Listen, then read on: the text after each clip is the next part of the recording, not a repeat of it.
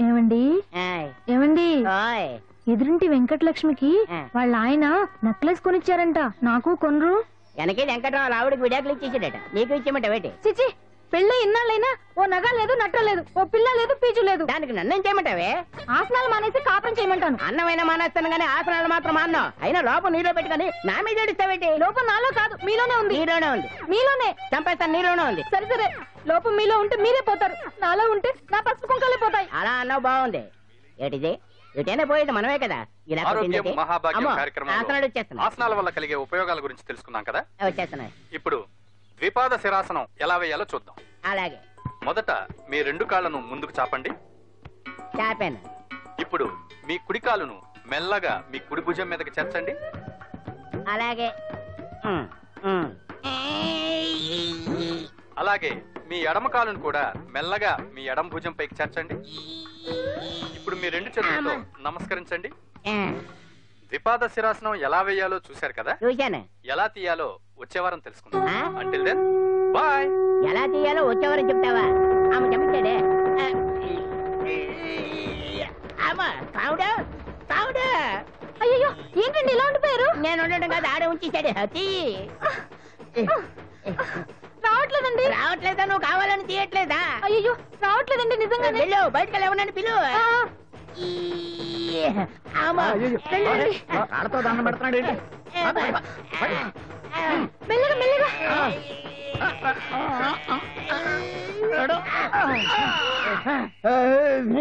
అమ్మా. ఏమయ్యా? ఈ వయసులో ఈ పిచ్చాసనాలు ఎందుకు నీకు? ఏ ఎముకో పుట్టుకు నిరిగిందనుకో చటుక్కున మంచం ఎక్కుతావు. పాడెక్కే వరకు ఆసనాలు మాండు. అది నా వీక్నెస్ వీక్ పర్సనల్ మళ్ళీ వీక్నెస్ ఒకటి. What the problem I want to know ఇక్కడ ప్రాబ్లం సాల్వ్ అయిపోయింది నువ్వు రావడమే ప్రాబ్లం ఇదేంట్రా షర్ట్ కాలీఫ్లవర్ పెట్టావు? నెహ్రూ గారు రోజ్ ఫ్లవర్ పెట్టడం కామన్ అందుకే నేను వెరైటీగా కాలీఫ్లవర్ పెట్టా. నెహ్రూ గారు రోజు ఫ్లవర్ పెట్టారు నువ్వు కాలీఫ్లవర్ పెట్టావా? ఎంత మేధావిరా నువ్వు. ఎస్ ఎస్ మీరు కూడా నాలాగా కొత్తగా థింక్ చేయండి. మీరు మేధావులు అనిపించుకోండి. ఓ పని చేయి. ఆ. కాలీఫ్లవర్ ప్యాంట్ దగ్గర పెట్టుకో. ఇంకా కొత్తగా కొత్తగా కొత్తగా ఉంటది. What a brilliant idea I love you I will try I will try now only అందరూ నోటితో తింటున్నారు కదా నీడు తేడాగా తింటున్నాడేమో. ఆల్రెడీ అలాగే తింటున్నాడు. పుకారం సిద్ధాంతికి నా జాతకం చూపించానన్నావు. ఏం చెప్పాడు? అబ్బో నీ జాతకం లాంటి జాతకం తన సర్వీస్లో చూడలేదంట బావా. ఇవాళ నుంచి నీ పేరు మోత మోగిపోతుందట. గుడిసెలో నీ పేరే గుడారాలో నీ పేరే. హ్మ్? ఏ ఏంటి అక్కడ హడావిడి? నువ్వు ఇక్కడికి వస్తున్నట్టు తెలిసి అభినందన సభ పెట్టుంటారు. అవిగో బ్యానర్లు. మినిస్టర్ భగవాన్ నా బిడ్డకు తండ్రి. మినిస్టర్ భగవాన్ నా బిడ్డకు తండ్రి. బావో ఇదేదో నీకు యాంటీ టెంట్లో ఉంది బావా? యాంటీడెంట్?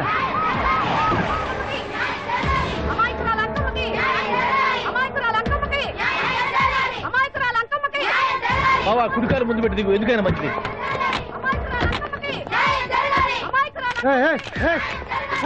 ఏంటిదంతా? మీ కడుపు పంట సల్లనదే తల్లి. మహారాజు అసలు ఎవరు మీరు? సార్ మీరు మాయ మాటలు చెప్పి తనను తల్లిని చేశారని ఆ అమ్మాయి అంటుంది. దీనికి మీరేమంటారు? మీరు ఆమెను స్వీకరిస్తున్నారా? అసలు ఇందులో నిజమేంట మినిస్టర్ అయినంత మాత్రాన ఏమైనా చేయొచ్చు అనుకుంటున్నారా? ఏయ్, ఏం మాట్లాడుతున్నారు?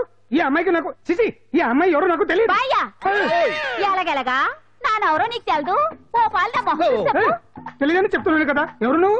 పోలం పోలమ్మో ఎంత మాట అనేసినావు? రెండేళ్ళ కిందట మండేసోలో నువ్వు అరకొచ్చి గవర్నమెంట్ వాళ్ళ బంగ్లాలో దిగలేదు? ఆ, దిగితే అసలు ఆ మాటకు వస్తే రెగ్యులర్గా అరకొస్తుంటాడు బంగాళాలో దిగుతూ ఉంటాడు అక్కడే ఐటమ్స్ గురించి ఆలోచిస్తూ ఉంటాడు ఆ, ప్రజా సమస్యల గురించి ఆలోచిస్తూ ఉంటాడు. అయితే ఏంటంట? నేను ఆ బంగ్లాలో పని మనిషిని. ఓ అర్ధరాత్రేలా బోర్ని వర్షం. పుట్టుకుని దీపాలు ఆరిపోనాయి. బావి చూస్తే బాగా తాగేస్తున్నాడు. నేను ఎలగలిగెళ్తుంటే అలా నా చెయ్యి చేసుకున్నాడు ఏటి బాబు ఇది అన్నాను. నువ్వు అను సగం రాసిస్తాను మనవాడతాను మగబిడ్డనిస్తాను అన్నాడు. నమ్మిన తెల్లారి చూస్తే మాయం అయ్యిండు. మగబిడ్డ అయితే పుట్టిండు. మనువు మాత్రం వాళ్ళేదే తల్లి. బాబా అదే. ఇన్నాళ్ళ నుంచి నీ ఎంబడి తిరుగుతున్నా గానీ నీ ఉదార గుణం నాకే అర్థం కాలేదే. ఈ పిల్లకు పోయి అరకులో అర్ధ భాగం రాసిస్తానన్నావే. నీ టేస్టు నీ పిచ్చినాడతనం మండ. ఏ మొత్తం రాసి వచ్చుగా? నోర్మే ఇది ఎవరో తెలియదు పట్టుకొని పుట్టే పుట్టోని చూడండి. రాత్రి నుంచి అయ్య కావాలి అయ్య ఎవడు వీడా? నల్లెట్టనమని ఎక్కున్నాడు ఒక ముద్దు పెట్టుకోలేడు గారు. బావా ఆ, రంగు అయితే తెల్లదే గానీ పోలికలు మాత్రం నీకులాగే ఉన్నాయి బావా. వీడు నా కొడుకు ఏంట్రా? కాదని గ్యారంటీ ఏంటి? పాండు? కన్ఫర్మ్. వీడి వాడు వాడే వీడు. అన్నా. ఆ? అన్నమ్మా ఇదంతా నువ్వు ఆడుతున్న నాటకం అన్నమాట. ఆడిస్తున్నది నేనే కానీ నాటకం కాదు. నిజం. కాదు ఇదంతా అబద్ధం. మాటలతో చెప్తే సరిపోదు. ప్రజల మనిషివి కదా నిరూపించుకోవాలి. అంటే ఏంది ఇప్పుడు నువ్వనేది మా బావను కూడా సీతమ్మ వారిలాగా మంటల్లో దూకమంటావా? ఇదిగో పరువు కోసం ప్రాణం ఇచ్చే వంశం మా బావదే. కావాలంటే మంటలు పెట్టచ్చు దూకుతాడలేదు ఏ బావా? దూకడంట. ఈ దూకటాలు దాకటాలన్నీ పురాణ కాలమే. ఇది కలికాలం. అదేదో అంటారే డిఎన్ఏ టెస్ట్ అని. అది చేస్తే నిజం తేలిపోతుంది. ఏ టెస్ట్ కైనా నేను రెడీ బాబో తొందరపడి కమిట్ కావద్దు. ఇట్లా చెప్తా. ఏంటి బావా. డిఎన్ఏ టెస్ట్ అంటే అది ఏమన్నా యూరిన్ టెస్ట్ అనుకుంటావా ఏంది? పుట్టు పూర్వోత్తరాలు మొత్తం బయటపడతాయా? పైగా ఆ టెస్ట్లో గనక వాడు నిజంగా నీ బిడ్డేనని బయటపడింది అనుకో ఆ అంకాలమ్మని అంట కట్టేస్తారు. ఇక జీవితాంతం జుంబారే జుంబకురే అనుకుంటా తిరగాల్సి వస్తుంది. ఎప్పుడన్నా మేము నిన్ను చూడాలనుకుంటే అడవికి రావాల్సి వస్తుంది. పైగా వాడు డిఎన్ఏ కోసం అంతగా పట్టుబడుతున్నాడంటే ఇందులో ఖచ్చితంగా నిజం ఉండే ఉంటుంది. ఏంట్రా నిజం? దాన్ని చూసిన గుర్తు కూడా లేదు నాకు. నీకెక్కడ గుర్తుంది బావా? నువ్వు చూసిన ఐటమ్స్ ఏమన్నా ఒకటా రెండా? పైగా ఆ రోజు తమరు మందు మత్తులో కూడా ఉన్నారంట. అందుకని ప్రస్తుతానికి ఇక్కడి నుంచి జంప్ అయిపోవటం బెటర్. ఆ, ఇదంతా ప్రతి విషయాల కుట్ర దీన్ని నేను ఖండిస్తున్నాను. మాట రాసుకోండి. నేను ఇక్కడ నుంచి వర్కౌట్ చేస్తున్నాను.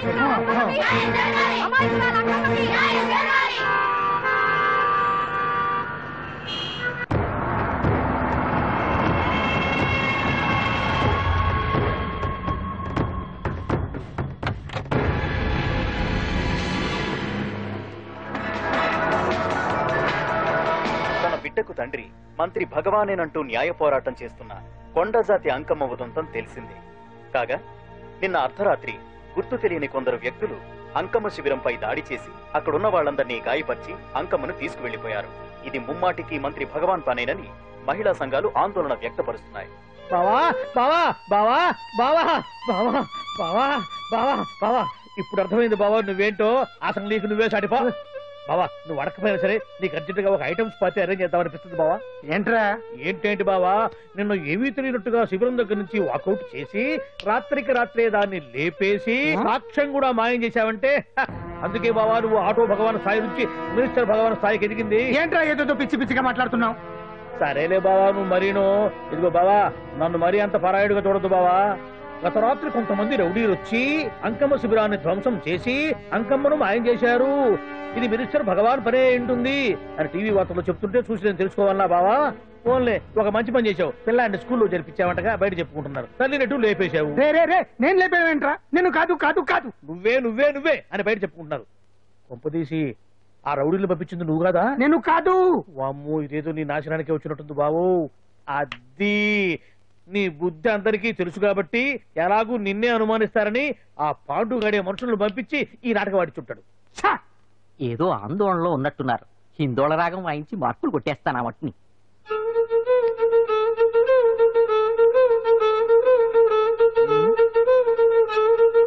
దగ్గరకు వచ్చి వాయించండి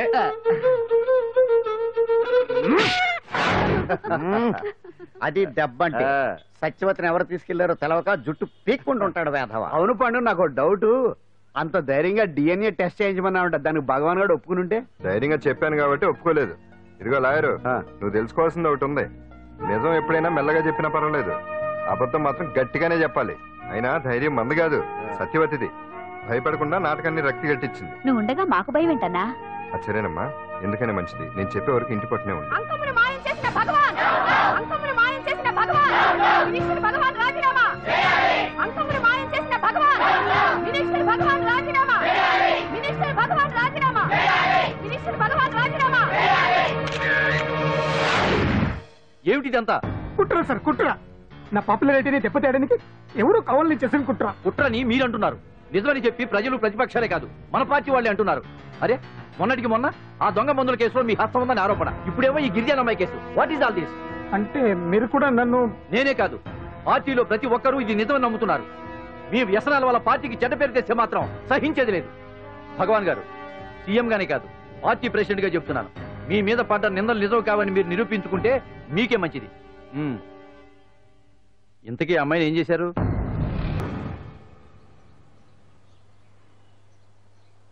హలో. ఎక్సైజ్ డిపార్ట్మెంటా? రాష్ట్రంలో ప్రముఖ మందుల కంపెనీ అయిన శ్రీ సాయినాథ్ ఫార్మస్యూటికల్స్లో నిషేధమైన మత్తు మందులు తయారు చేస్తున్నట్లు ఒక అజ్ఞాత వ్యక్తి ఇచ్చిన సమాచారంతో ఎక్సైజ్ డిపార్ట్మెంట్ అధికారులు ఆ సంస్థపై దాడి చేసి కంపెనీ సీజ్ చేశారు. కోట్ల రూపాయల విలువైన మత్తు మందులు అక్కడ తయారవుతున్నట్లు విదేశాలకు ఎక్స్పోర్ట్ అవుతున్నట్లు వెల్లడైంది. ఈ సంస్థ యజమాని రాష్ట్ర హోంమంత్రి భగవాన్కు దగ్గర బంధువైనందువల్ల మంత్రి మీద కూడా ప్రజల్లో అనుమానాలు వ్యక్తమవుతున్నాయి. ఏంట్రా? మన ఫార్మాస్యూటికల్స్ మీద ఎక్సైజ్ వాళ్ళు రైడ్ చేయడమేంటి సీజ్ చేయడమేంటి అరెస్ట్ ఏంటి ఇంకా నయం బావా అది బినామీ పేరుతో ఉంది కాబట్టి అందులో కేవలం నీ హ్యాండ్ మాత్రమే ఉందనుకుంటున్నారు. అది నిజంగా నీదేనని తెలిస్తారా ఈ పాటికి నీ పదవి పోయేది అరెస్ట్ చేసి ఉండేవాడు బొక్కలో వేసి డొక్కలో పుడుతూ ఉండేవాడు. అసలు ఈ విషయం మన వాళ్ళే ఎవరో ఇచ్చిస్తుంటారు? నిజమే బావా నీకు మత్తు మందులు తయారు చేసే బేవర్స్ కంపెనీ ఉంది అనుకో. అయినా ఈ విషయం బయటికి చెప్పాల్సిన అవసరం ఎవరికుంది బావా? బినామీ పేర్లతో వాడు నడిపే సాయినాథ్ ఫార్మాస్యూటికల్స్ కంపెనీలో మత్తు ఇంజక్షన్లు తయారు చేసి విదేశాలకు ఎక్స్పోర్ట్ చేస్తూ ఉంటాడు. మనమేగా చెప్పింది ఇదంతా ఆండల పని ఉంటుంది. మనం చెప్పేవని ఎవరు చూసి వచ్చారు? గప్చుప్ సాంబార్ బుడ్డి. ఎవరు చెప్పుంటారంటావు బావా? చిచి చిచి చిచి, నాలుగు రోజులు నేను ఢిల్లీ వెళ్ళొచ్చేసరికి మొత్తం నాశనం అయిపోయింది. మీరేంటి మాస్టారు? వాయించండి మీరేదో టెన్షన్లో ఉన్నారని. టెన్షన్లో ఉన్నప్పుడు మ్యూజిక్ ఉంటే తగ్గుతుంది అంటారు కదా? వాయించండి శివరంజని. అలాగే. నేను చెప్పింది ఆరగం కాదు. అది సెల్ ఫోన్ రాగం బావా. Cell phone? హలో. భగవాన్ ఏంటి? కోట్ల ఆదాయం తెచ్చే మొత్తం మంది ఫ్యాక్టరీ గుట్టు పట్టబయలైందని టెన్షన్గా ఉందా? నువ్వు బాండు. ఎలా ఉంది మన దెబ్బ? నొప్పి తెలుస్తుంది కానీ బయటికి చెప్పుకోలేవు కదా? ఇది ట్రైలరే బాబాయ్. అసలు సినిమా ముందుంది. రే రే రే రే రే షూ తర్వాత దెబ్బ ఎలా కొట్టాలో నేను ఆలోచిస్తాను. ఎలా కాసుకోవాలో నువ్వు ఆలోచించు. ఎవరు బావా? పాండు ఇన్ఫర్మేషన్ ఇచ్చింది వాడే. అంటే వాడే వీడన్నమాట. ఆ, వాడు మొగాడు వాడు మొగాడు ఉన్నావు ఇప్పుడు చూడు మొగుడే కూర్చున్నాడు. చెప్పుకోలేని చోట సెకండ్ లేచినట్టు అయిపోరా నీకు? ఏందన్నా ఈ పరిసరం అంతా? ఒక్కసారి ఊ అని రాదే? ఆ, ఊ అంటే ఏం చేస్తామే? అనరాదు బాబా ఒకసారి ఊ అని వాడు ఏం చేస్తాడో చూద్దాము. అందుకనే మా బాబు ఊ అన్నాడు. ఇక బీకు నువ్వు బిగేదేందో శరణ్యే త్రయంబకే దేవి నారాయణి నమోస్తుతే. ఏం పాండు ఏమిటి? అష్టోత్తరమా సహస్రనామార్చిన అష్టోత్తరమే కానివ్వండి. సరే పేరు? పేరు అంజలి మూలా నక్షత్రం సింహరాశి. నువ్వెప్పుడూ చేయిస్తున్నదేగా కాకపోతే ఈసారి అమ్మాయిని కూడా తీసుకొచ్చావు. అంతేగా?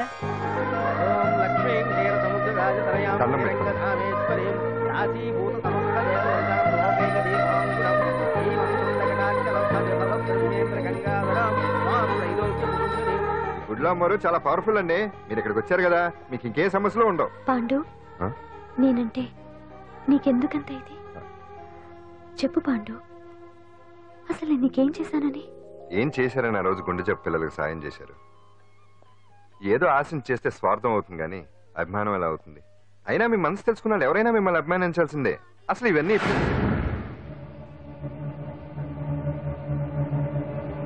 అంజలి గారు?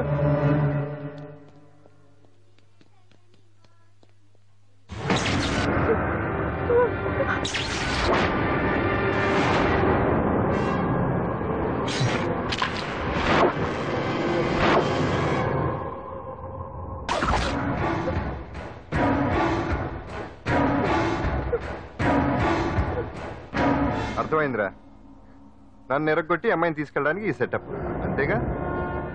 దున్నపోతుల్లాగా ఎంతమంది ఉన్నారు. నేను ఒక్కడిని అయినా సరే ఈ అమ్మాయి మెడ మీద కత్తి పెట్టారంటే మీకు దమ్ము లేదనేగా అర్థం?